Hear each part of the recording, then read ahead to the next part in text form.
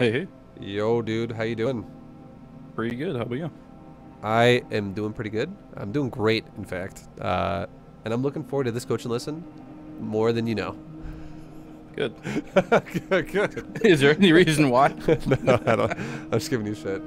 Um, well, uh, if, if, you wouldn't mind, give, like I, uh, I know we coached before, but uh, give me a recap on how you're doing, where you're at now, and uh, kind of what you want to focus on today. Sure. Uh, so I am a Zerg in low masters currently. Um, I've dipped actually quite a bit since we last coached. Um, right now, I want to focus on Zerg versus Zerg. Um, I'm sitting at about 47% for the win rate. Okay. Um, that's pretty much it in a nutshell. Nice. Okay. Well, whenever you're ready, bro, we can jump into a game and check it out. Uh, Zerg. I'm just gonna say it right now, though. Zerg versus Zerg. You can play a very standard way over and over and over in ZVZ, and it's really just about understanding how your opponent spins their larva. Uh, heavily. Uh, give me a sorry. Uh, give me the, the lobby host. You give me party lead, just so I can. Uh, there, there you go. Perfect. Good shit. Good shit. Good shit. But yeah, larva is everything in ZVZ. So if you're not doing scouts with like speedlings and stuff, uh, and putting your overlords in the right spots at the right times, that'll definitely be something we'll talk about. Uh, especially since okay. this is like masters, so like we can definitely go a bit more technical with things. But uh, yeah, man, um, we'll see what's going on for you. Mm -mm. What style do you generally like to go for? And uh, there's like a massive fly that just came into my room, like flew right by my face. Uh, what style do you generally like to go for? And uh, uh typically I like to play uh, roaches. Uh, mutas I really like, but I don't feel like I'm capable of properly Dude. handling them yet. And I hate muta versus muta so much. I got a build for you. It's a, it's yeah. a perfect build. Okay, tell me what you think before we. I'm gonna pause this really fast, and before we jump into this, you tell me if you think this sounds good opening up, opening the game up with roaches three like speedling into roach three base, and then you go into roach ravager for the mid game, and then it switches into having a spire. And if the game does not end on roach ravager, it becomes roach ravager muta, and a lot of times then the game will just be over. That sounds really good. Uh, it, it's not like a flawless build. It won't. It will always forever always win the game because obviously, you know, if you don't have any type of a lead and your opponent has like a ton of Hydras and maybe like Lurkers or something, it's going to be kind of scary for you. But there's going to be so many games you're going to play where if you're both going Roach, Roach Ravager, Roach, Roach Ravager constantly, uh, and suddenly you're like, you have 10 mutas pop out of nowhere, and he's like, oh, fuck, okay. It puts him into an all-in, and all you have to do is focus fire his Ravagers with your mutas, and you just win the game. It's ridiculous. Huh. I like it. All right, so We'll look at your game. We'll talk about what you're doing, and then uh, I can give you an example build of that after, as well. Great. And uh, do you, uh, how many? Uh, just out of curiosity, how many replays do you have? We might just spend all time on this one, but. Uh, I've got like two, maybe three. Okay. Um. All right. So. Yeah, we'll see. We'll see what's going on. We'll see what's going on. I do tend to struggle a lot with uh, defending early pressure. So like the 13-12, the 12 pools, I tend to overreact a lot. If we have time to cover any of that, just proper responses would be cool too. Okay, okay, yeah, yeah, yeah. I got, I got. Uh, I'll just. Uh, does it happen? This it does not happen this game, but I'll just tell you what it is. Okay, it's super easy peasy. If you 16 hatch, always 16 hatch against Zerg. It's very, very good. And then you're going to be going for you know your gas pool like 18, 17, whatever. That's totally fine. But all you have to do to counter people who go for early pool shit, any type of early pool stuff, is you don't build an overlord at 19 until 2 minutes. And I'll show you what I mean. Right now you're at 17. Uh, mm -hmm. You're building your pool. Back down to 16. You're building your... Well, you're basically saving the larva. Yeah, right? exactly. Yeah, exactly. You just don't larva cap. So now you're going to go back up to... You're going to spend your last larva to go up to 19 supply right there. Now you do... For the next 30 seconds, you do not touch your larva uh, it's like right at two minutes is right when you're going to hit that third larva again. So you do not fucking build any larva. And here's how the timings work. If he 12 pools you, you're on most maps. This map is this map is what I would say it fits into the category of most maps. Unless he were to run his lings on the south side of that cliff you're flying over right now with your first overlord. The point I'm trying to make here is, is you you will see his lings running out of his base between 130 to 140 if it is a 12 pool. Okay. So you would Okay. see you would see Lings like just crossing around like 132 or some shit like that. Like you'd start seeing them cross if he goes right to your base. If you see Lings crossing between 140 to 150, it's a 1312. Uh, or he just waited to send his Lings out, which would just be bad because even if you're wrong, and you're like, oh, that's a 1312, and he just waited on a 12 pool when he, and he has no form of speed or Bane follow up aggression there, it's just going to be super easy to defend your natural. So a 12 pool needs to get across the map like ASAP if he wants to even do anything with it. Um, so it's pointless for him to sit there. It would just mean he's kind of bad.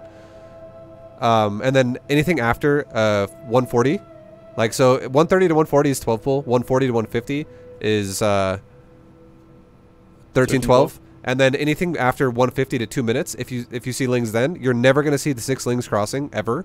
It's only going to be two lings. And what that would mean is is you don't know then if it is a 13 12 or a 12 pool, but you do know he's running his lings in an awkward location around the map to hide from your overlords. And you can see the follow-up lings, which is why 2 minutes is a huge number here. Because 150 to 2 minutes means if you see two lings crossing the map, no one's going to fucking have a pool down that fast, and no one is going to make lings that fast. So that means do not spend your larva because this dude has six lings on the map somewhere else already closer to your base that are not they're they're taking a detour to take longer to get there because they avoided overlord scouting, but they are there. So if you if you see lings at all between before 2 minutes, between 130 to 2 minutes, you just fucking save lings and make them. And the way you can kind of like differ your reactions or alter your reactions is if you see a 12 pool, you can get away with just making like we're talking seriously like 10 lings and stopping because by the time you have 10 lings you're also going to have queens that'll spawn out and you can also pull your drones to help you and you can defend your base with ling drone queen you're easy you're easy peasy you're good to go and as long as you don't overling there you're in a great spot because you can just drone back into it and you know he's got no follow-up aggression there.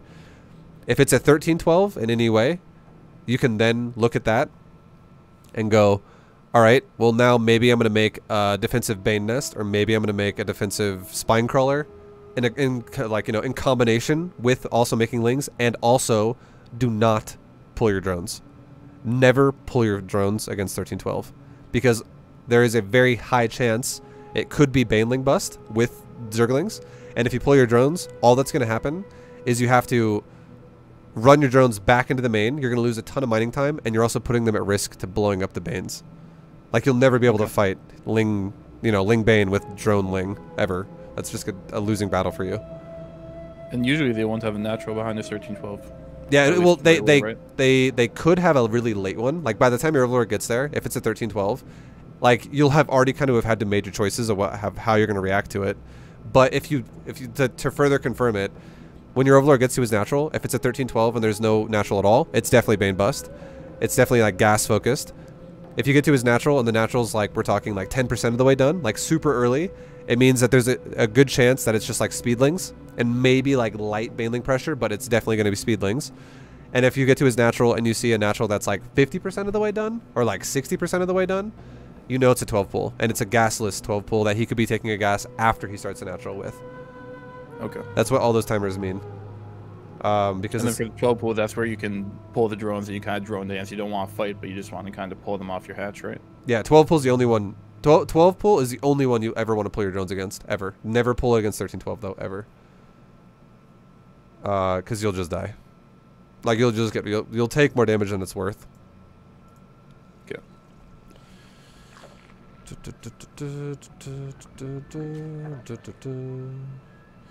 Alright, um. Uh.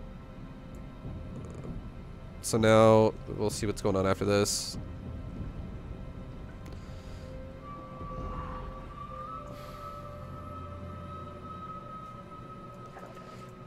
Okay, so now you're still mining.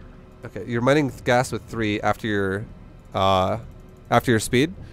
This is definitely something that you need to kind of question about why you're going to do it.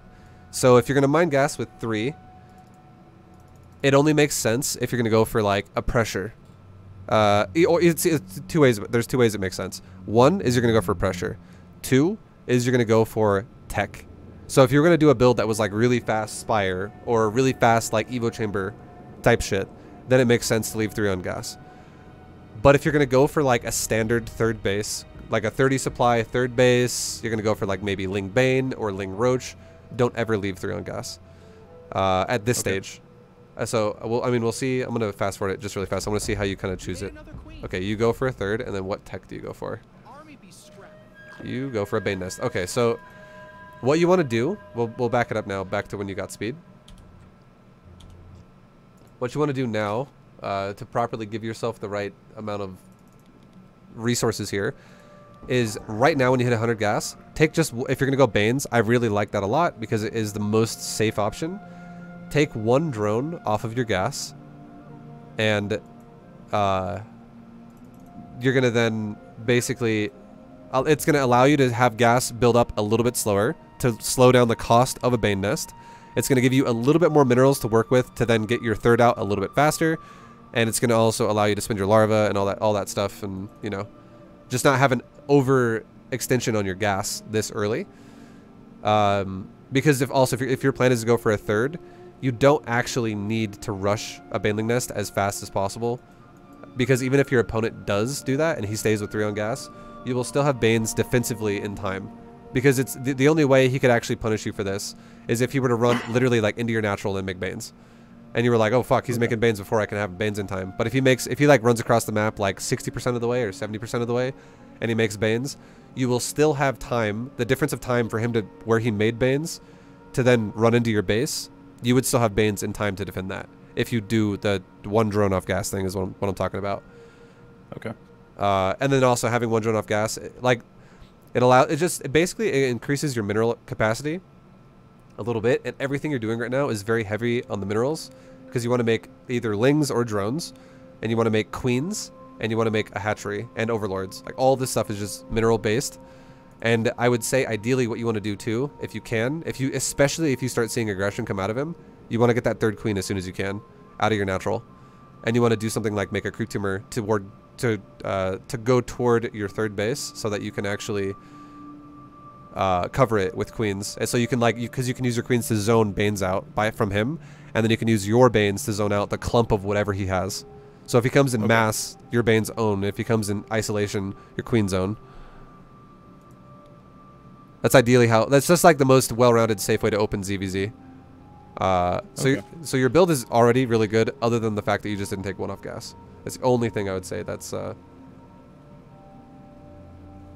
that's uh, messing up here for you.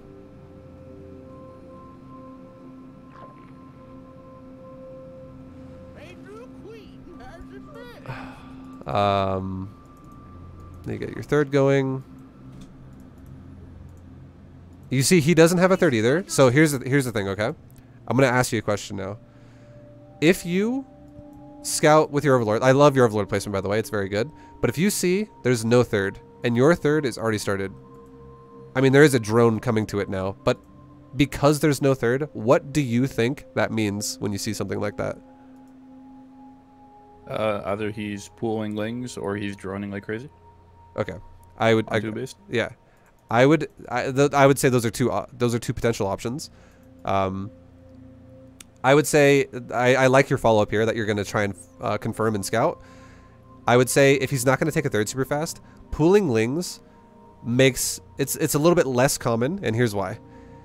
If he was going to pool lings, he probably would have prioritized a gas super fast if he's going to delay his third. Because if you're going to go for a mass ling style, it, what that means is is you're probably going to take your drones off gas once you have speed, no matter what, and pool a fuckload of lings, and then that would also uh, incentivize him to take a faster third, so that he could have more larva to make more lings with faster than you. So pooling lings is probably not going to be the case. Making mass drones would only be the case if you also scouted him and saw he was probably going for like a fast lair, like he was going to just tech super quick. Uh, because then may- maybe you're fighting against like a two base build, uh, where maybe he's gonna do something like Roach, uh, Roach Evo Chamber wall off, or he's gonna go for like Fast Spire or something like that. Uh, like he's gonna tech to a lair super quick. But what's probably happening is, um, I would say, there's a good chance that if you run through his base right now, like the more common things I would say might happen here, is he's definitely just prioritizing his tech, whatever it is, and he's probably gonna have either a Bane Nest or a Roach Warren. That's one of the only reasons why I feel like this would make any sense. Um, but yeah, it, it, like it could be a lot of things, right? Uh, just know that you should feel a little. God, this fly is fucking so annoying. I'm so sorry. It just keeps flying in my face, and it's so distracting. Um, Nah, you're good. Uh, it's basically scouting him is important, and you want to just know exactly what it's going to be the follow up of. Uh, but yeah, I, I would say probably tech because the fact that he is going to take a third still kind of rules out now that he's going to have a really fast lair. But I would I would say that you I would not be surprised if you saw a Roach Warren really fast or a really fast Bane nest, and that's exactly what you see. You see a really really really fast Bane nest, um, and that means that this dude never took a drone off gas, hundred percent.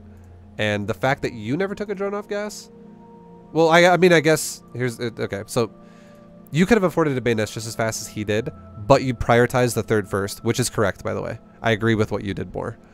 Uh, okay. So I would say as a response to this, what you what you do, and, and, it is what you do. I, I remember speeding it up and I saw you do this. You just make a bane nest, and that, that's fine. Um, but just know that if you had only two on gas, it's it sounds weird, but it's true. If you had a, only two on gas, you could actually get your bane nest even faster while also getting your third. And the reason why is because you're not actually taking your Bane Nest as soon as you have 50 gas, because if you did that, you'd be doing what he did, which is building your Bane Nest way before you take a third base. Right. Uh, so yeah, minerals is actually uh, your limiting resource here. But I like your scout. That's good. And now you know there's potential here. Like you saw the mineral line at his natural. It looks similar to yours. You have a little bit more than he does. Like you ran through the mineral line and you're like, okay, yeah, we see like about five drones. And if, by the way, if you don't do that, you definitely need to start doing that. Like paying attention to the actual drone count. And all you mm-hmm. do is you just pay attention to yours and his. Like who's got, where's the where's the number here? Where's the difference? Um, and then, uh, you know, then it tells you where his larva is going, and uh, basically, um, I mean, going to his base then too and seeing like you know what his what his gas still looks like is definitely also important. But yeah, the drone the drone line tells you so much about larva, and then yeah, and then it's like third, late third. I don't know. I'm trying to. I feel like I'm kind of repeating myself. yeah, the, no, lar the, the, larva is very very important. Well, if you uh, kind of have your like production cycles, it's like okay, is he making drones or is he making lings? Yeah, yeah, yeah. Exactly.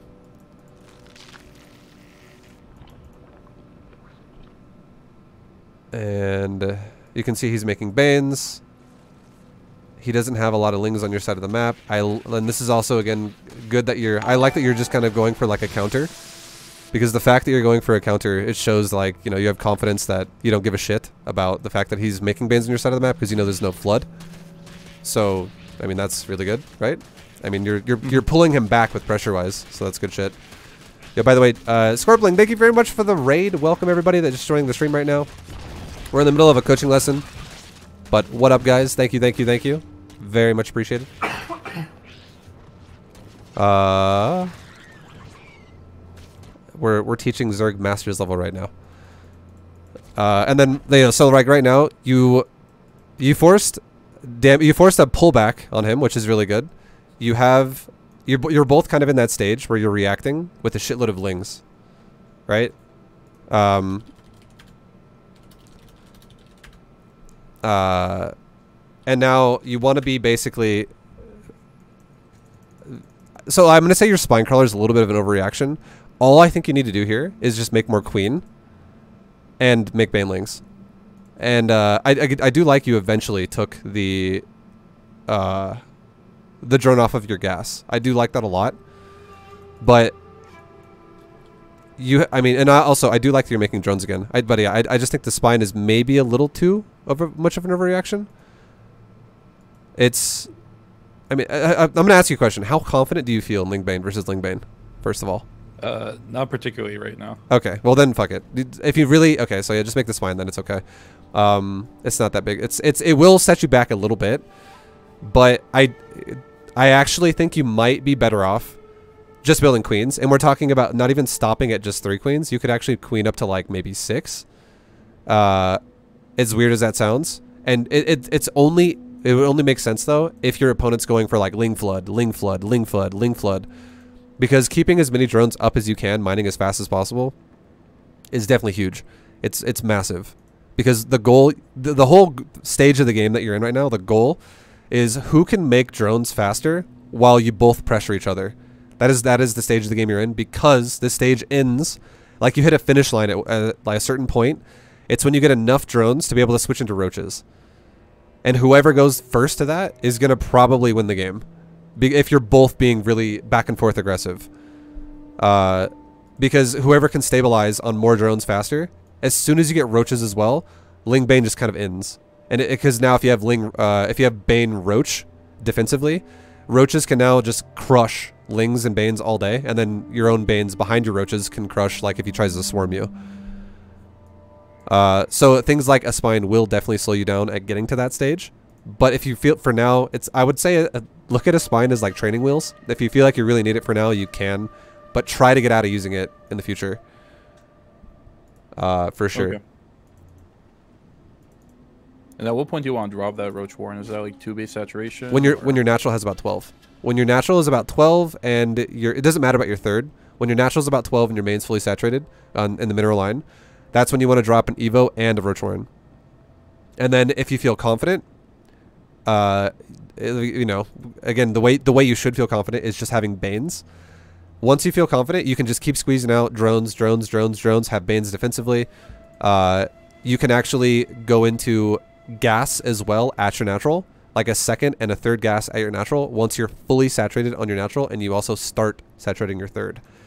So like if your third base has like five drones on it or like six drones on it, your natural is fully saturated, you could take two more gases at your natural then and then build more drones again to fill those up and you can then afford things like going into a lair, going into plus one weapons, going into a roach speed when lair's done, and also making roaches. Okay. And the lair comes after the like two and a half base saturation. Yeah, uh, yeah. Uh, you want to make the Roach Warren and the Evo first, and then you can make the lair after. And uh, the lair, the, probably if you're playing, I mean, it, like here's the thing that changes though. That's why it's not always perfect. The lair timing changes based off how many banes you have to make. So if you base, if you're making banes more often than not because he's being really aggressive, you're gonna have to have a later lair. But if he's like kind of lightly pressuring you and you feel okay with honestly making just four banes and you're done, then you can make a lair faster. That's just how, it's because that's just how it goes. You have to react to what he's doing, and the way you react properly is overlord placement, and you have to see what he's doing out of his base, like how he's if he's flooding you or not repeatedly. You have to always keep tabs on the minimap to really know if you need more banes or not. Okay. And the way the way you should react to this, the way you the way you should think about this is if you go, holy shit, he has more units than me. I need banes. And then if he floods you again, like if, if another wave comes out, okay, yeah, I need more banes. If another wave units comes out, okay, yeah, I need more banes. Every time you see a wave, you need more banes. And when I say more banes, you need probably two or three, roughly, each time. Uh, so, but if you see an army come out of his base where you're like, yeah, I have pretty much just as much as he does, two banes, and then stop. You always want to have at least two banes. Always. But if, if you feel confident, two is fine. If you feel, if you, every time another wave comes out and it makes you feel even less confident, and add an additional two or three and you're good to go. Okay. And then do not, or go ahead. Uh, so you say something. Say what you're gonna say. Uh, so like, if I'm making defensive banes here, where would I want them sitting? Would I want them like split up at the top of my ramp at my you, natural? You would want them in front of your natural. Through? You would want them in front of your natural. Okay. Uh, you would want them. I like you could actually make like two banes and just leave them on top of your ramp at your natural, and then have more banes. Like, and you can like uncontrol group them even, um, just in case he tries to like flood your main and then you could have like an additional like two or three banes or whatever kind of roaming between your natural and your third. And again, you want to have overlord spread not only in front of his base at this stage because you all right now you have like six overlords. You'd also want to have uh, like two or three overlords. Uh, like here, I'll, I'll ping. Okay, I'll ping how this goes. So make sure you're on everyone vision so you can see my pings. So this overlord yep. is really good. Always leave it there. That's great. This overlord that was right here. Oh, it got pushed away because of the queen. You should move that second overlord, the top ping, to now you should add a third overlord and have one overlord there and an overlord there. So you can see all ramps that he can exit out of at your base, right? So that's three overlords at his mm-hmm. base now. And your next overlord should be like this. You should have like one here. You should have one here. And you should have one here. And then once you got your seventh overlord, I would say put it like down there. So the okay. point is, is you like have three on his side of the map. You put like one in the center, and then you put three on your side of the map. And then if you make overlords again after this, you can fill in other gaps like one there, one there. Like you fill it, you go back to filling in the middle again. But getting three on his side, three on your side, those are both really important uh, on this map specifically because there's three entrances to both your bases. And then having the one in the center is very important because it if you miss the flood coming out of his base initially, that middle overlord, is a it's it's a backup uh, check basically. Where if you if you miss the first one and you just don't pay attention, you might still catch it with the middle one. The middle one, then the very middle of the map is always the most common place he's going to be running through back and forth. Okay. Uh, yeah. Yo, Minzray, thank you for the If he goes mutas, then do I just kind of lose those, or how do I go about? If he goes back? mutas, you should figure that out before he has them, and you can tell that by if he never makes roaches, and if he just keeps flooding lings, is only his his, hack, his only attacking unit. And if you're playing fast and efficient, you should be fully saturated before he has mutas too. So if he does go mutas eventually, you can then, if you figure that out later, but with like a Zergling scout, you can be like, oh cool, I'm gonna now I'm just gonna pull my overlords back, and I might lose a couple of them. It's fine, but I'm you know you pull him back then at that point when he is going muta. You should definitely have tabs or like have an indicator that he's going muta though by the fact that he never makes roaches. Like the chances are higher then, because it's not always about you being defensive either, right? Like you'll also poke him with stuff every now and again, and if you never see roaches being made ever, that's a that's a muta indicator. And if you never see, or sorry, if you if you do see gas really really fast, like emphasis on just gases, that's muta indicator as well. You're like, wow, my third base has 10 drones on the middle line and his has 6 on the gas. That's mutas. That's like someone who's desperate to get mutas super fast.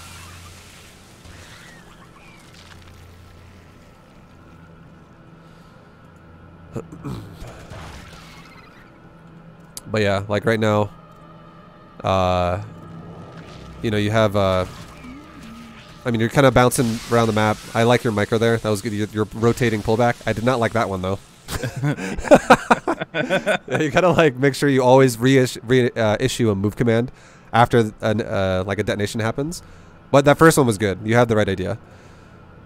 Um, but like right now, I'm gonna say like in your build, you're falling behind a little bit, and not not necessarily to him, but for what you could be, because you didn't make a third queen for the longest time, and you should ideally make a third queen if you're gonna go Banes, like before your third hatch is even done, and then you should have injects at all three of your hatches right away.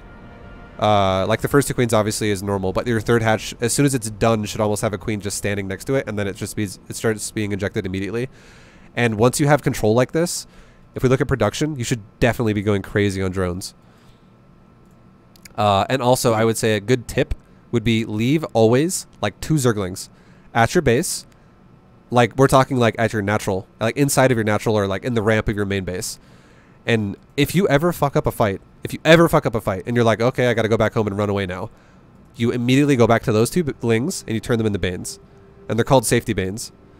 And the reason why this is good is because if your opponent decides to counter flood you because he freaked out and made a shitload of lings while you kind of messed up your micro and you lost all your lings to like a baneling or something, you can make new lings to defend yourself and those safety banes you're just starting to make now, they will finish together with the new lings you made so you will once again have ling bane. Because if you don't have those, those banes and you just make lings, there's a good chance he's going to start running your bases over. Because if he floods you and you have no banes and he starts making banes in your face while killing your lings as they're isolated, uh, because he's killing one hatchery per one hatchery, like he's killing your lings as they spawn into him, that's a good way to lose the game right there, like right away, because you just messed up a micro fight. So safety banes always really, really, really good at the early stage of the game. And I would say honestly, never take fights like what you just did. Uh, I know you. I know uh, you. You kind of won that fight, but that wasn't an overwhelming fight. Like, I'm, what I'm trying to say here is, do not ever take Ling fights unless the ratio is like four to one. If you're gonna make drones, because a trade out like this, all this does is it reinforces that you both are gonna remake Lings. Like, you- otherwise, one of you is gonna lose map control and you'd be better off just relying on Banes for a detonation. Otherwise, keeping him busy and making him feel pressured to make to make more lings. Like the more lings you make him make is great, but if he makes a bunch of lings and then you don't lose a lot of yours and you just fall back, that's still wonderful for you because you can defensively use Banes and you're great. But if you ever trade lings out like that and you don't have the intention of flooding lings, all that's going to happen is you're going to lose map control and you're going to have to then make lings defensively anyways. Like and you're going to give yourself a chance to take damage. So never trade unless you have an overwhelming amount, or unless you're going mass lings. Like if you if you Okay. plan on making more lings. And again, the number I would say is like at least three to one, probably more like four to one. Uh, so like a big fucking swarm for you versus a little bit for him. Okay. Because look at the production. See how you're making lings again? Like you're only making two though. But if you trade these out again, like that's like you killed the queen, but now you're gonna, but now you're gonna you're gonna trade again. Like you you you are trading lings again here and there, and it's nice that you're getting damage done. I'll say that. Like you killed the queen, it's great. You killed some lings too, but you're making more lings again, and you're putting yourself into this like I'm gonna stay in this like all in stage longer and longer and longer and longer. When if you just did, if you just did a non-committal ling poke, and let's say you got one really good Baneling connection off, where you just detonated 15 lings at once, and then suddenly now you still can kill the queen, but instead of only having like 12 lings left, you still have like 20, or like 22 or something like that, and you don't, and then you're, and then those 14 lings is actually seven drones.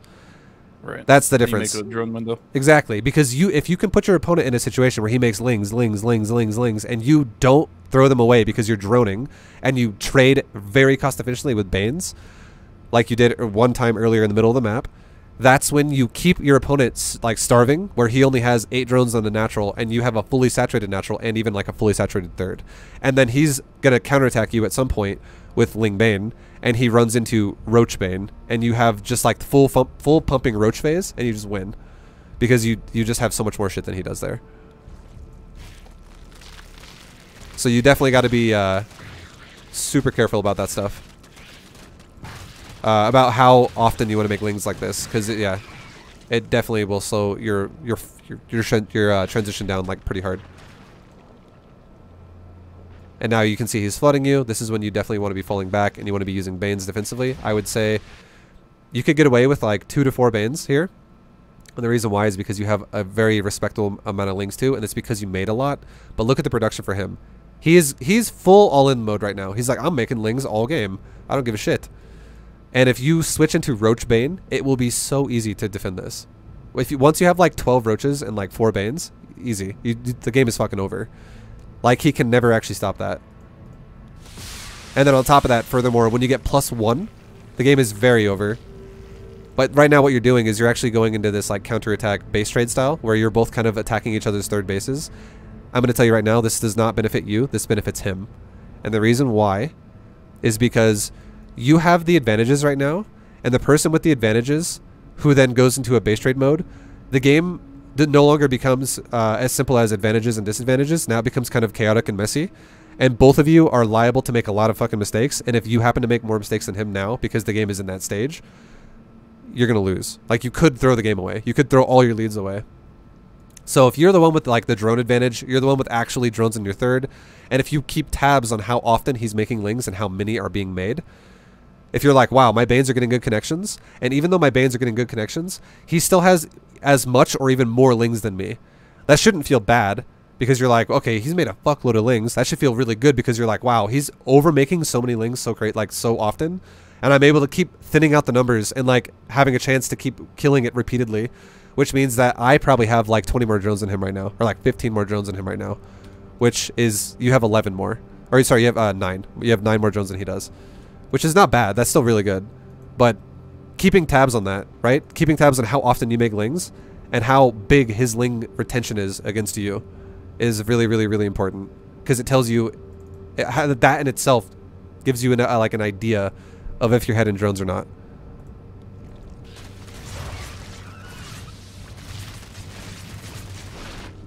But like you can see right now, you thinned out on his army at his third, and now because you've gone for like this weird base trade, you've compromised your third because you've given him positioning on it. So now you have to defensively bust into him rather than him aggressively busting into you, which is way harder. And the point, the reason why I'm saying that, that, that why that makes sense and why that's hard is because there, there's like a clock, right? The clock before, if you're if you're defensive, the clock is you get you are mining more than he is every minute because you have more drones. So you will produce army faster than he will. And if he doesn't do something right away, he will fall further and further behind. And suddenly you also and also he doesn't have roaches and you do. You have roach tech. And if he if he waits until you now have roaches as well, he's fucked. Like it's going to be really bad. So it puts pressure on him to do something, which makes him have higher chances to have micro mistakes. But now the pressure is reversed and it's on you because of the base trade thing you just went for. And now you have to do something right now, otherwise your third is dead, which puts you in a two base versus three base scenario, which is still not unwinnable because your drone count is still way better than his. But losing that Mhm. third is fucking painful, right? It sucks. So you've put yourself in this position because you've you've uh, sacrificed positioning because you went for a base trade. So never do that if you have the advantage, and you should know you should have known you had the advantage based off of how many lings this dude was making and how efficient you have been up to this point to a degree. Like it, I would say it could have been better, and for all the reasons we talked about, like not throwing your lings away with ling versus ling and stuff like that. But mostly, I would say you still had better trades than him, and you did a better job than him overall throughout the early stages of the game so far. Like I have not seen him yet get a really good Bane connection, but you did, essentially, and you're making drones. And like right there, there's a little bit of a, a blunder, right? Well, I'll go back and Mhm. watch it slower. Okay, I, I kind of skipped it again. Jesus. uh, okay, one more time. Like 628. Yeah. So like your Banes are on A move right now, and then because they blew up on a couple lings right away, and then his three Banes come into you, and they blow up your two remaining Banes, which means the trade there was like you probably lost maybe five more lings than he did, and you also lost one one more Baneling than he did, which is not that bad. It's not that bad of a trade. It's not like that trade was awful, but the thing that sucks for you is though is that that was all of your Banes, and he didn't only have three Banes. He has like twelve Banes because he still has another seven already there, and he's making two more on top of that. So, Mhm. yeah, like now this fucking sucks because now you have to micro extremely hard because you have to figure out a way to deal with a good uh, nine banelings and also a, re- like a comparable ling count to yours to a degree. Which means you have to micro like crazy. It's just this is very hard micro now. So your third is probably going to die. Essentially, is what that means. And you're, you're well, the way you're reacting to this is you're going for a counter, and if this guy just defensively makes banes, it will not work. Also, if he would have ran his banes into your natural, the game's over. So you're, you're playing a very risky style, and it's because and this is what happens when you make a when you when you're the one playing greed, who's going drones, and you're playing against somebody who is just going lingbane, lingbane, lingbane, lingbane. Like this guy has not made a drone for the last four minutes or three minutes of this game, um, which is how some people play. But just know if you're the one playing economy, do not ever base trade like this. This is this is a panic right here. This is desperation what you're doing, and you're hoping that it just works out. But if your opponent is solid at just being aggressive, he's always gonna win. Uh, but if you if you just play a solid style of defensive, uh, like defensive setup, defensive play, you'll always be able to defend your drones, and you will win because players like this, the red player, they'll burn out over time, and they won't ever have as much uh, economy as you, and they'll just they just won't have enough production as you do. I got a, I got a question. When you when you play Lingbane, uh, how do you control group your units? Uh, I shouldn't, but I have them both on three, and then I have Banelings on four in addition to being on three. Okay, so I think that's correct versus Protoss and, and uh, Terran. Don't do that against Zerg though. Against Zerg, remove like. Do you ever use the steal command, for instance? Uh, I have a control number bound to steal for everything, Okay, so I either add or steal everything. okay. So I would say just steal Banes every time you make Banes, steal them out and put them in their own group. Uh, and like stop grouping them together because I've seen a couple of times, like two two fights now, your Banes detonate off of uh, Lings, and that's gonna fuck you all the time. It's always gonna screw you over. Just have them isolated so that you can mo- always move command them, and then your Banelings should only ever be on attack move command about 1% of the time that they're actually alive. So they should be move commanding 99% of the time, all the time, like just as much as possible. And the second you see his Lings swarm your Banes, really quickly go to the Bane group, A move it really fast, and then immediately go back to move commanding it again. Like you wrote, it's like it's like it's like a stutter step of Banes basically, where you A move it and move command right away, and let him stay on move command again. That way you don't get a juicy connection and then like two or three really bad ones. You get juicy connection after juicy connection after juicy connection because if you move command the second after you A move, you will always get that first juicy connection. Because that's how Bane's AI works. It'll one Bane will detonate everything in the vicinity. Not everything will detonate all at once. And then as soon as the detonation has has happened, which literally all it takes is a move, move command. That's that's it. Do not a move again until another juicy connection is ready. You, so you always just want to get that juicy, juicy connection, and then guard your your banes with lings by moving your banes always into your zergling area and a moving your lings to kill his lings off of your banes. And that's all you do. Uh, but yeah, it's almost always move commanding your banes. It's very rarely ever a moving. It's only when you know there's going to be a connection. All right, and then now, um, so we're, we're, you know, I mean, you pulled him back, which buys you time, but your third still died, so it's still not great. And now you're making roaches. So now this game is, all, it's like almost awkwardly turning into some weird all in to a degree, but you're going back to drones. I mean, you could totally like defensively take your third and stuff like that. Um, but yeah, it's It's kind of a clown fiesta. yeah, it's uh, if you're gonna make roaches and you know if you're only a few of them like you did, that's okay. You can be defensive with it, but you got to definitely right now is you definitely got to make your choice if you're gonna retake that third or if you're just gonna go counter all in him. Because and if you kind of don't do either, if you don't take your third and you make roaches and just sit there on two bases, you're losing the game both ways there, for sure. So so far, do you have any questions about anything that we talked about? Uh, no, sounding good so far. Um, okay. Okay. Uh.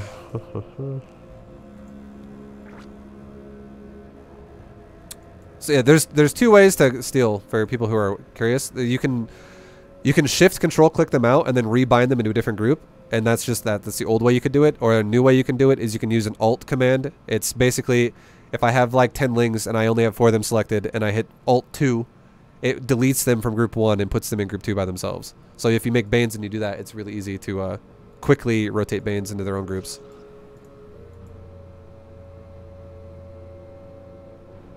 Okay. And then you're making, you're, so you're going for aggression again. So this game is definitely, uh, you're definitely like making the game, uh, just, I would say, okay, these Banes are about to get a good connection. I would say you're making the game more aggressive than it needs to be, and the reason why is because, like, I mean, there's there's been a lot of aggression that's already happened up to this point. There's been a lot of trades, but if you lose these lings, this is at a stage where you're not really super stable because not only do you not have Banes defensively at your with your roaches right now when you have a low roach count, but you also have a low roach count. So if your army dies here, watch the production. You're going to probably have to remake. Uh, there's a good chance I will see you remaking lings again, um, because your roach count is so low that if you just make roaches, there's a good chance he'll overpower you. If if he were to flood you and go crazy, I mean it, it's fortunate for you though that he's making drones. Uh, I mean that that's the best case scenario for you because if he was still flooding lings and you got over here with if there was nothing in this third mineral line and suddenly he was flooding roach or uh, ling bane against your roaches right now in your door, you would be dead. Or you you know if he was like running out of his base, it would be very scary for you. That was a good bane connection though, regardless.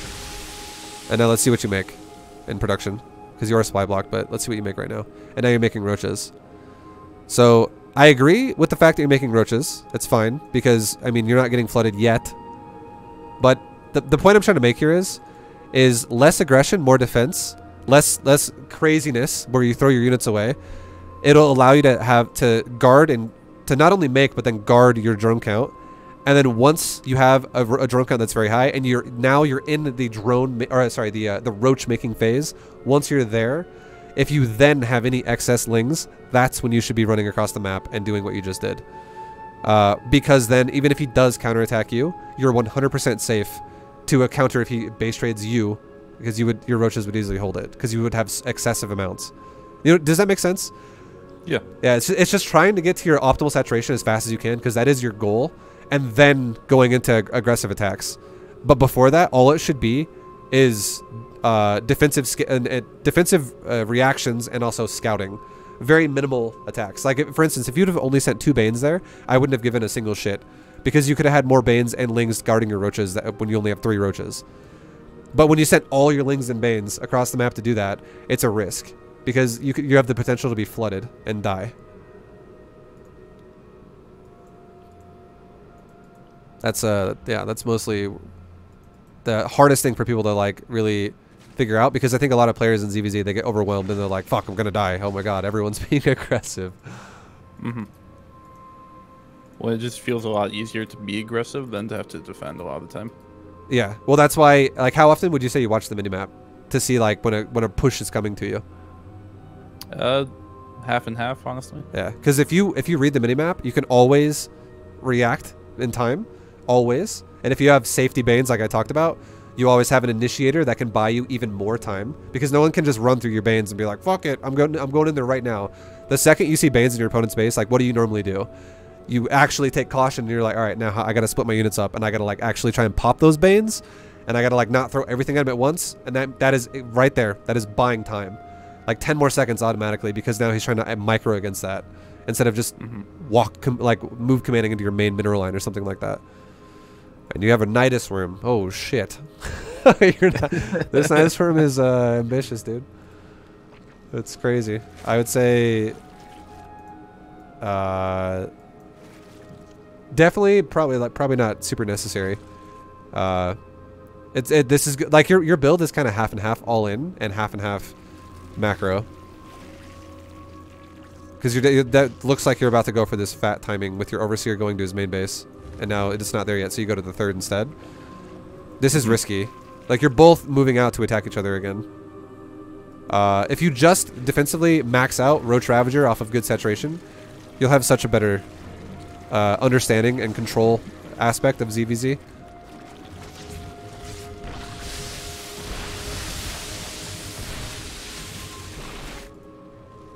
And now he's coming back to defend. Yeah, and those Banes also, you could tell that they were in your army and they were all on a move command because they all went for the Queen. If you had your yep. Banes in your own group, you could have just right-clicked on a couple patches of his drones and then moved them to a different base. Or moved them back into the Nidus Worm. That would have been ideally the way to go about that. And again, Banes, when, with the style I'm recommending you to do, where you go Ling Bane into Roach Ravager into eventually Muta, if the game is Roach Ravager versus Roach Ravager, you're not going to be using Banes the whole game anyways. It's just going to be a temporary thing. Like we're talking like the first five minutes or six minutes, and you're probably on roach phase then. Mm hmm And now, like you're, you're making, so you like you made a lot of roaches. You did a Nidus, you attacked him, and your third base is still undersaturated. It's just it's over aggressive is all I'm saying here. This game is way too over aggressive. For sure. Uh, like you're gonna kill the third though. It looks like I hopefully you're not killing the third. You could have killed the third there. Th yeah, that yeah. would have definitely helped a lot. But you you keep putting yourself in these situations where it's and, and it's not just you your opponent does it too. A lot of zergs do this where they overmake units and if they don't get some type of good damage done they're in this awkward stage where it's like i don't really have a good economy and i could keep making units and i don't know if i should uh, stuff like that. When if either one of you just made drones and defensively reacted and got to that stage faster where you're now ready to just make roaches all game because now you don't need drones anymore you would just win every fucking time. You, like you would have, you would be like, well, my supply is 170 and his 102, and I just run him over with Roach Ravager. It doesn't have to be fancy either with like Niduses or drops. I just walk to his base and I just go, hey, I have a way bigger army than you, and you die.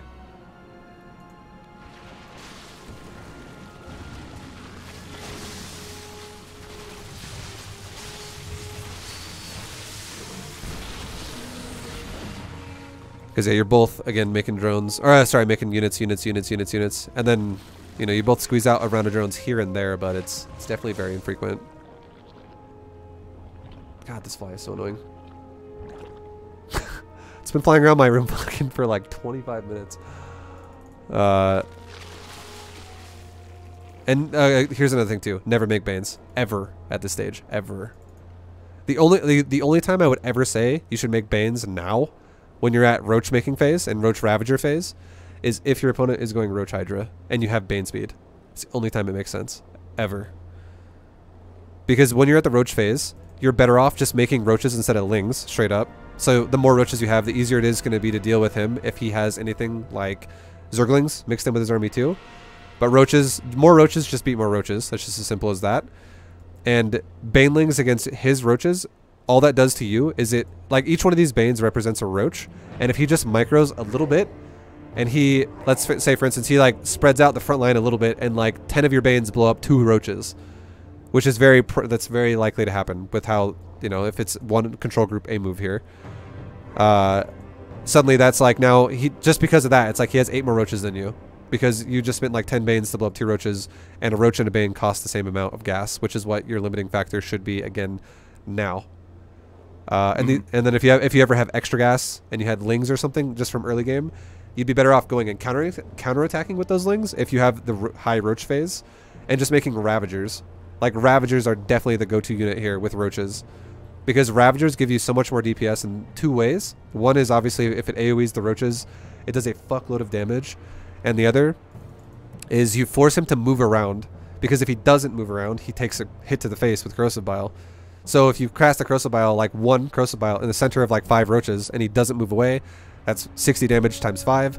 If he does move away, that's a free auto attack for you of your whole frontline concave where he's backing up away from a corrosive bile. So either way, if he dodges it or if he stands in it and takes damage, it's free damage for you, which is why a lot of players both go Roach Ravager versus Roach Ravager, because now suddenly both players are constantly moving a lot, and you're both doing a lot of damage to each other freely. Uh, and it comes down a lot to like if either player at some point accidentally eats the biles, but yeah, not having bile here is pretty awful for you, I would say. It's definitely okay. better than bins. Yeah, I think my hope was to put them in the Nidus here for a counter, but that could have been a lot more ravages. Yeah, no, like even then, if you're gonna go, if you still, if you if you were doing a style of Niduses and counterattacks, you'd be better off having like four roaches in that, just like four roaches. Because and the reason why that's important is because you'll still have an overwhelming amount of army to defend yourself with, and four roaches could easily kill a mineral line and a queen. Nope, like there's zero chance drones and one queen are gonna kill four roaches. Uh, and then on top of that, if he defensively runs all the way back across the map and goes to defend that with his whole army, you get control of the map now, and you can start shoving him, and you can expand and take your shit freely. And now, if you're in that roach making phase, you can now shove him backwards into his base and eventually kill him. Okay. Like, you should basically, you know what you should be thinking? This is what you should be thinking killing the mineral line is fine, but killing the hatchery is is not necessary. And four roaches can accomplish that task. But if you were like, I'm gonna put 20 roaches in there, and I'm gonna like kill the hatchery too, like that's excessive because what does that do? You lose control of your side of the map, and now he can kill your hatchery too. I think the way you should look at ZVZ is how can I get to that stage where I'm pumping roaches nonstop and not get fucked over, and then once I'm there, I can now fuck him over repeatedly because I have overwhelming amounts of everything. And then you should always think about how can I beat his army while distracting his ex expansions and stuff like that. You should always focus on the army at that stage. Like you can send little bits like two roaches, three roaches, four roaches to his expansions, but don't ever do like 20 roaches here, 20 roaches there, stuff like that because all that's going to happen is you give yourself a chance to get overpowered in the army versus army.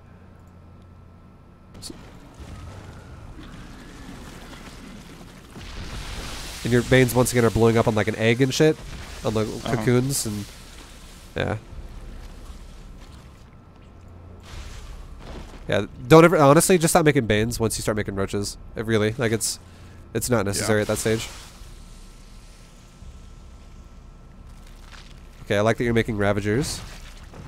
You're still making a little bit more drones. Your drone count's only at 48 though. Like you're definitely playing this low, low, low economy style when you definitely need to get to that higher. Like you had the lead for so long. Your opponent was actually the all-in one for a long time, and then ever since your third died, you've become the all-inner because all you've been doing since then is like light droning with lots of Nidus pressure and then you know Roach uh, Baneling, which means like and you're still neither one of you is maxed at 1345, which is insanely slow. If either one of you was like macroing properly with aggression that with Ling Bane aggression that you did early, I bet either one of you could have maxed at like 10 minutes with Roach Ravager. But again, it's because both of you, neither one of you is like really respecting the droning as much as you should be, as early as you should be. Okay, now we're talking about Roach Ravager here. Be, okay, the, the, the proper way to micro Roach Ravager. I'm not going to tell you the improper ways because there's a lot of improper ways, but this is the proper way to micro Roach Ravager. Okay. What, like okay. have it all in a control group, like one or something. That's fine. Whatever the fuck you feel comfortable with and then as soon as you're in range to attack him and concave and you know have uh, the concave spread by like you're gonna go C or whatever your hotkey is for corrosive bile hit like hit the hotkey, and then click the click the center of his front line bile bile bile. Bile. Like about that's about at that pace. Do not go with like five biles at once. Just one one one one. And you're gonna spread them out too. You're not gonna have them all in the same exact spot. So like left right center, a little bit more to the left, a little bit more to the right, just whatever, whatever the fuck you can do. Just put them all in like the front line of the center, like around the front line of his concave, because you don't want to go to the back line because your Ravagers will be out of range. So like the front line of his concave, and you do them one by one by one by one, and you wait until he goes, against you, and you just back up, and then you go forward again as soon as they hit the ground. You have about two seconds until the when the bile's cast. Two seconds later, it lands, so you can react to this appropriately. You have plenty of time to react. You can dodge his biles. If he spams his and he's out of bile cooldown now, and you're still going one, one, one, one, what happens there is he might dodge your biles and you might dodge his biles, but there's two ways biles do damage. Number one is they actually connect and they do a lot of fucking damage, which you can avoid. And it's easy to avoid it when they do it all at once, or you make him move his army and you get free attack auto attacks while he runs around constantly to avoid getting hit by biles. Which is why one, one, one, one makes more sense because you're getting so much more auto attack damage than he is because he's constantly moving out of biles repeatedly over and over and over and over. And if he doesn't, he's eating one bile, one bile, one bile, one bile. When all you have to do is you have to dodge one round of biles every seven seconds, which is like seven at once. Which means just back your army up for one second and then go forward again as soon as they hit the ground. And that's all it is. That's that's the proper way to micro Roach Ravager with biles. Because notice how he casts a shitload of biles at once, but you don't move out of it, and you just stand in it, and you just you just ate like probably 800 damage right there. Right. And then right there again, you just ate like another 800 damage. And then you're not biling him at all. And then he casts another like five biles on you. You ate it. That's probably another like 600 damage right there because it was a little bit more in the front line, not in the center. Probably like five, five to hmm. 600 damage right there on you again. And then you cast biles. What'd you do it? That was, I think, the first time you cast the biles. Was it? Maybe. Uh, maybe. Okay. Well, then you back up again. That's proper. That was that. That's that. That pullback and then move forward was perfect. You barely got, did not get hit by it. That's perfect. But I've seen you cast biles so far, and I've seen him cast biles a lot more. But the point is that both of you are casting all of it at once, and neither one of you should be doing that, because it's so easy to take advantage of Zergs who do do that. The way I just told you about how to micro it and you just cast all yours at once. He cast all his at once, and you're chasing.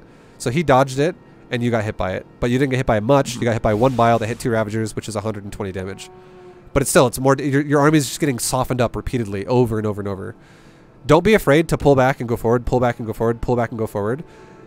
Because what you are doing, behind the scenes of the Roach Ravager Micro, what you're what you are doing in the north top right side of the map is actually fucking perfect.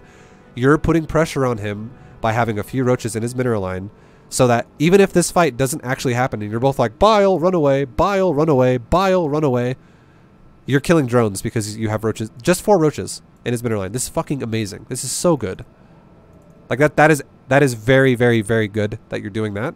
I can't stress it enough. It's super good because he's not doing that to you. So every second that goes by now he's being crippled more and more. You're actually gaining a lead now in this game even though you should be behind at this stage because just because of that one little counterattack.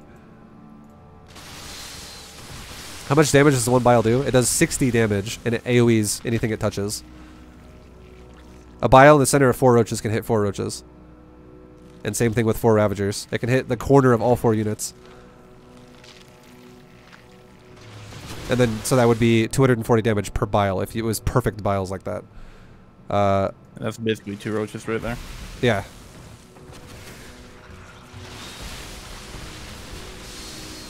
So now he's doing it incorrectly. Like he might win the fight though because you actually have so many roaches not in the fight in the bottom side of the map. But he is running into biles like crazy, so he's getting damage done on you, but he's taking so much in the process.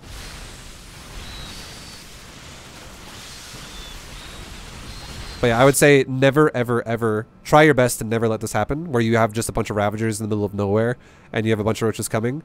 You definitely should be, what you should be doing is throwing a bile at him like up behind your ass and running back to your roaches so that if he chases you he keeps getting hit by biles but you're constantly running to your roaches so that your roaches can actually take the damage here. Like a ravager is not only squishier than a roach but it's also so much more expensive than a roach. You definitely don't want to lose your ravagers. And you're losing like all of your ravagers right now for the most part. Like yeah that was could have been better. I think you just lost like half your ravagers there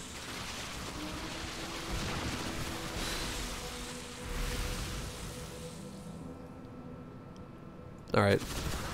And then uh, the kind of the build I was talking about is when you're in the stage of this where it's Roach Ravager versus Roach Ravager, I can't even begin to tell you how many Zergs are stuck on this phase forever. They really are. A lot of Zergs just feel like they get stuck here. If you just stop making Ravagers at like 8, okay? Go to eight and stop. Do not make like 20 Ravagers. Just make eight and you're good. And that's enough to go bile, bile, bile, bile, bile, bile, and have it literally go forever because the cooldown's seven seconds. Uh, and, and also another reason why I'm gonna, I'm gonna tell you one more thing. Another reason why stacking biles like crazy when you go and just throw like seven out at once is because it, three three biles is more than enough to kill every single unit you're gonna be fighting. Three biles is enough to kill a Ravager, a Roach, a Hydra. One bile kills a Bane and a Zergling. Two biles kills a, or two biles kills a Hydra. Three biles kills a Roach and a Ravager. Uh, and the reason why it's not three and not two for a Ravager is because you also have regen, and a Ravager would live with one hit point if it got hit by two biles. But if you like, for instance, if you hit someone with seven biles or you hit them with three biles, it's the same fucking thing because the unit's dead either way. So that's why it also makes no sense to spam your biles like crazy and instead you should be going like one by one by one by one by one instead of going just fucking throwing them all at once. Um, now, going back to what I was saying a second ago, where both players are in the stage of Road, Roach Ravager, if you just stop at eight and you make a Spire, you could actually weapon weapon upgrade your Spire as soon as it's done. And then if you ever find yourself maxed out versus his max out, and you have a fight where it's still Roach Ravager versus Roach Ravager, and you see he has like 18 of them, and you have eight, and you're you're you're not just shoving into his army, throwing your whole army away. You're just doing this roach counterattack thing you did with like four roaches. That was perfect. And you're trading bile to bile to bile to bile. You're just backing up and going forward and backing up and going forward. And both of you start losing roaches here and there. And suddenly you find yourself down 20 supply. Because you are not losing your whole army, you're just losing bits and pieces of it. And you remake into 10 mutas right there. And then suddenly 10 mutas pop out with plus one weapons, and you fly over to his Roach Ravager army, and you just shift a, a click all of his Ravagers well, that puts him on a clock now because those mutas are going to kill every Ravager he fucking has. And you can just back up as well, back all the way to your base to buy yourself as much time for your mutas to kill as many Ravagers as possible. And there's a good chance that by the time he gets to your base, he has no Ravagers anymore, and it's just Roaches for him versus Ravager Roach Muta for you. And then every time a roach dies again, you can keep making more mutas up until you have like 25 muta. And now suddenly you can one-shot roaches and ravagers all day. And you can kill his roach army super fast. And if he doesn't have a hydra den or a spire, you can repeatedly kill his army super hard. And then your roach army with your ravagers can walk across the map and just end the game. Because you can kill his base. Your mutas uh, themselves might even just be able to end the game. Which is why that, that style is so fucking good. I like it. All right. So, any questions? I can make you the build really fast, but any questions about what we just talked about? Uh, nope. All adds up. Okay. Good. Good shit, man. Good lesson so far. This is uh definitely just understanding how to play the game out and uh you know proper ways to drone in ZVZ. I have a I have a question for you though. Just because this yeah. is more micro based, do you want to play me and I will give you an example of you can save the replay from my perspective of how to play it. Sure. Instead of me playing an AI, because if I play an AI, it's it doesn't really go into the, the proper aggressive format. Okay. Do you want me to just sit or actually play? Uh, I want you to actually, uh, yeah, pl uh, just play your own fucking style. Do whatever you want. Play the best you can is what I want you to do. Okay. And then I'm gonna do a style that you should start emulating yourself more. And uh, yeah, that's what we'd do. And then uh, I'm probably I'm gonna. I'm just gonna give you a, a little disclaimer here. I'm probably going to kill you with Roach Ravager, but I will make. I just know that after Roach Ravager, when you stop at like eight Ravagers, is when you should make the Spire. Okay. But the the big one for you is you would not have had to go to the muta phase if you just had a good economy to go Roach Ravager with. Okay. Now, if you kill me, you make me look like an idiot, right? I'm like, I'm probably gonna kill you now, and I just lose this game. Like, oh, never mind. So get ready for the 13-12. Yeah, it's like even if you did no. do that, I, I, honestly, even if you did do that, it would be fine. I wouldn't care because I'm paying attention to scouting you, and the whole two-minute rule I told you about would be able to handle that. Right. But it's all about forcing aggression out of your opponent and defensively having Banes to fall back on every time in the early stage and getting yourself into the Roach stage. And once you're in the Roach stage, if they're not even close to it, the game just ends. It really is just over at that point because you'll never have enough otherwise.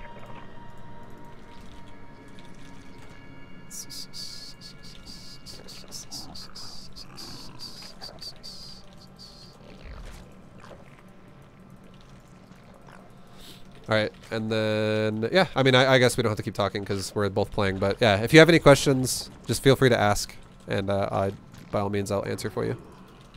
Okay. And baneling nest, you usually put like one pixel away from your natural, right? You usually don't put it in your wall. You can do either one. E either one's fine. If you're gonna go, if you're gonna play the style of going for a follow up of roaches and, and evo chamber right after, putting it in the wall is actually probably better. But if you're gonna play a style of like heavy Ling Bane for a while, then putting it next to your hatchery makes more sense there. Okay.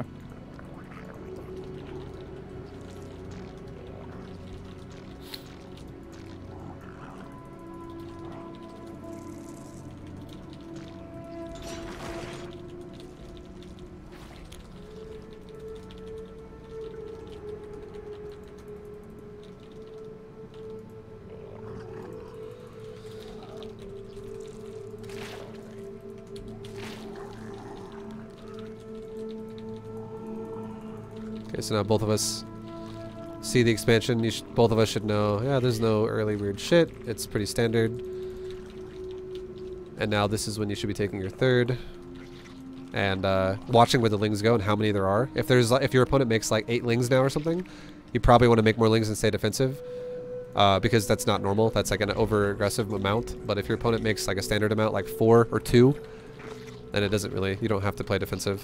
And also know this, if you ever see your opponent has less lings than you, if he ever has less than you, if you have, if you're the one who has four and he has two, always fuck his third up. Every time. Just go by and fuck his third up. Because you'll force more lings out of him that way.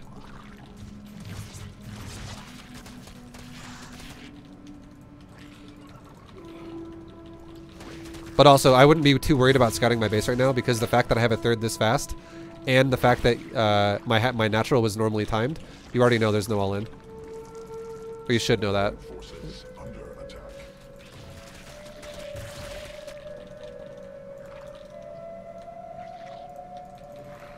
And now this is when I make my third queen because we have a good drone count. And I make safety banes. I'm not going crazy on lings. I'm just making safety. In case you do a fucking flood on me. But I'm not going to like force a flood out of myself. Because I'm going to be greedy. And I'm making drones still. And now I see more lings coming. A little bit more lings, not a lot. And now I see more lings again coming out of you. So, and then, but there's also some drones. So I'm basically what I'm going to do is I'm going to make a, like a well-rounded number. I'm going to make like, we're talking, um, you know, like probably like 10 lings and stop. And then that's going to be just like enough for me to hold myself basically in case you do something really aggressive.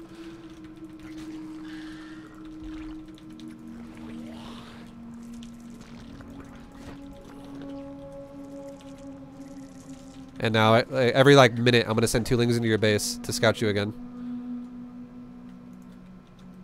just to see what you're doing, because I don't know if you're gonna do a roach flood or something like that. Like I have to figure that out, because I don't have, uh, you know, I don't, I don't know. Okay, there's a couple lings coming into your base, and I'm not worried about that yet, because it's not enough to be worried. I see your roach I see your evo, I see your lair, I see drones again, so I'm droning again, and I know that. I know that I can drone because I don't, I'm not intimidated by what you're doing because I just saw what you're doing. It's not a question mark anymore. So like, I'm to scout you again in probably a minute and follow up another one. But right now I'm already at 60 drones, 62 drones. Is like, like you want to get to that fucking roach phase as fast as you can. Because if you if you spot aggression, you react to it, but otherwise you drone, drone, drone, drone, drone. You don't force aggression out of yourself. Otherwise you stay stuck in the roach phase forever. Or sorry, the Ling phase forever. And you don't want to be there. You want to get out of that phase as fast as you can if you're playing macro. And then now I'm getting roach speed. And now I'm already going into roach phase. And now I'm going to scout you again with another like two lings.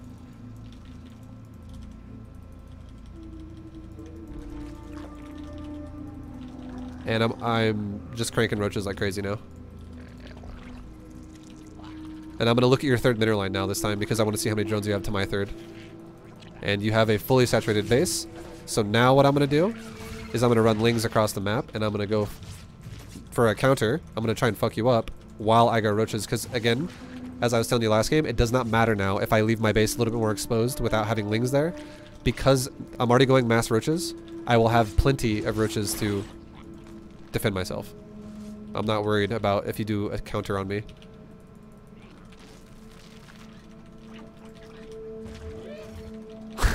I'm gonna fuck you up, quote, quote. No, it's, well, it's like, you know, this is the idea of how you want to be playing the game. It's more like just speaking through the thought process. Sorry, I'm talking to chat as well. Nah, you're good. It's a little bit terrifying though, knowing that you're basically telling me what you're going to do and I can do nothing about it. No, it's, well, it's just efficiency. It's all it is, and it takes practice. It's okay. So you're there. You're defending. So I, I attempted and it failed. So now all I'm gonna do is I'm gonna multitask you, because it, otherwise I would just have thrown that army away. I'm gonna attack your base now because I have roach speed, and this is when you should move out. Never move out before roach speed, because if you move out before roach speed and your opponent rushes tech, you get fucked for that. Like he can definitely overpower you if he's all-inning you. But as soon as you have roach speed, it's really easy to kite backwards and not get screwed over. So now if I force pressure at your natural, it forces you to react. And if you don't have enough to react, you die. While you react, I'm gonna kill your drones at your third. And this is a this is like that test, right? To see if you have enough. And I'm, you know, I'm still cranking roaches like crazy here. Uh, all we're doing is making roaches. And you can see you're losing, if you're losing the fight here, this, it's just, this is how most of your games will go. And it's all about who makes the army, or who makes the drone count faster and switches into this phase. And now you're just going to be flooded till you die. Right. So that's why you always want to like get out of the habit of being like mass lings, trade lings away, mass lings, trade them away again. That's why I was saying like definitely do not like if, if when, I, when you had a bunch of lings earlier and you were attacking him and I was like do not trade here when it's just ling versus ling because all that did was it forced you to make lings again. And yeah, yeah, that's that's the moment when you're just like, well, fuck. Okay, well, I'm stuck on ling phase. And I know it's fucking hard. It's, it's super hard to like play and talk and listen at the same time. I know I'm not expecting the best game that you've ever played in your life to come out of this, but it's just a concept, right? Right. And like right now, I would imagine your supply is probably like 100, and we're maxed out. Uh, so uh, yeah, I'm at like 70 now. Yeah, it's uh this this is how most of your games should look. Uh, if you just play Roach Phase. Uh, you, you play the economy phase into roaches, and like once you have like you know, eight again eight Ravager. If you if you find yourself stalemating out with your opponent, once you have like eight Ravager, that's when you just make the Spire, and you can start switching into wep uh, Spire weapon upgrades, and stuff like that. Okay. But anyways, any questions before we wrap it up? Uh, no, that makes sense. All right, man. Save save the replay for sure, and just watch the. Uh, you went Nydus again. Oh my god. Now save the replay for no, sure. went there at the end for fun. and you can use it as like a checkpoint again to like see how you're pacing with what I did to what you do. And you can see like the you know the movement of units and stuff like that. But good shit. Good stuff. Uh, I do. I appreciate you doing another coaching lesson, man. I hope it helps. Yeah, it definitely does. I'll be hitting you up for uh, Protoss down the road here. All right, man. Sounds good. Uh, until next time, take it easy. Good luck. And, uh, dude, thank you again. Yeah, thank you. Have a great stream. Thanks, dude. All right, guys. That's been a it's been another coaching lesson uh, with Ignatius. Thank you, dude. That was a master's level coaching lesson. Um, but yeah, that's right there. What I, what we just did. That's probably the most the most standard way to play ZVZ. Ling Bane defense into saturating three bases into Roach Ravager into whatever the fuck you want to do after that. It could be Lurker Hydra, it could be Muta. I think Muta is probably easiest because a lot of people get stuck on Roach Ravager forever. And Mutas versus Roach Ravager is really easy because Roach Ravager cannot hit air unless you sit in a bile. Uh, but yeah, that's a pretty super standard, strong replay, or uh, style, rather, there.